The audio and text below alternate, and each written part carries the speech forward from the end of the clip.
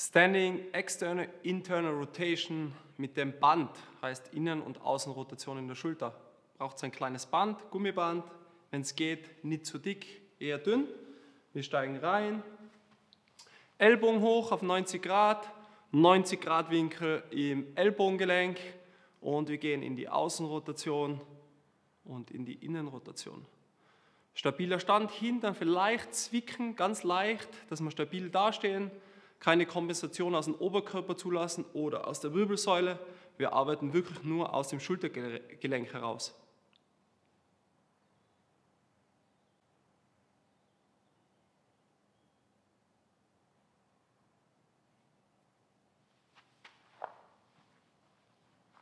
Von der Seite, Ellbogen 90 Grad hoch, 90 Grad Winkel, auch im Ellbogengelenk.